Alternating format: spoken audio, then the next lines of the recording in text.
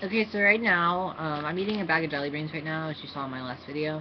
But right now, I'm gonna, that's a green one. I'm gonna eat a black jelly bean. And I'm gonna record my reaction because I've never eaten a black jelly bean before, so... Let's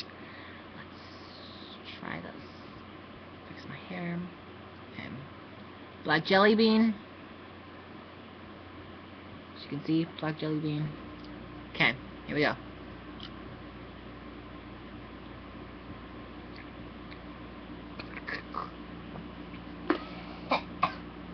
Ew. That's gross. How can anybody like black licorice? That's disgusting. Disgusting. Uh, I need a different flavor. What flavor should I have? Should I have coconut? Let's have bubblegum or cotton candy. It's bubblegum or cotton candy. It's pink.